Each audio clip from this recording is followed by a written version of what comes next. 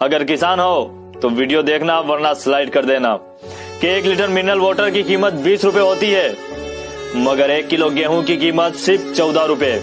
जबकि एक किलो गेहूँ को उगाने में कम से कम तीस लीटर पानी लगता है